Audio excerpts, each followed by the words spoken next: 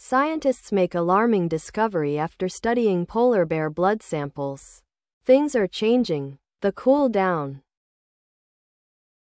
The results confirmed the researchers' fears. Below are your comments. I am 100% on board with saving the planet, honestly.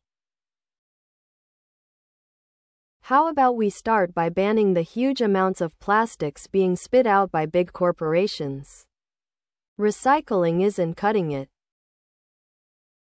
Let's focus more on the reduce aspect. Meanwhile, individuals can reduce their reliance on dirty energy by switching to an EV, investing in a heat pump, or installing solar panels. EV runs on dirty energy, Heat pump? Runs on dirty energy. Solar panels? Don't run on dirty energy, but use a lot of it in the but the simple-minded idea of this author is not helpful. The eco-talking heads tell a good story until you ask them how much adjusting for climate change is going to cost.